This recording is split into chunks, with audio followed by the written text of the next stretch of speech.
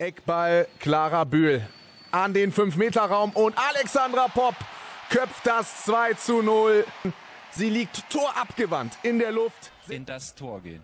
Also das komischerweise wurde so hoch katapultiert und dann fliegt sie gerade. Also sie fliegt so um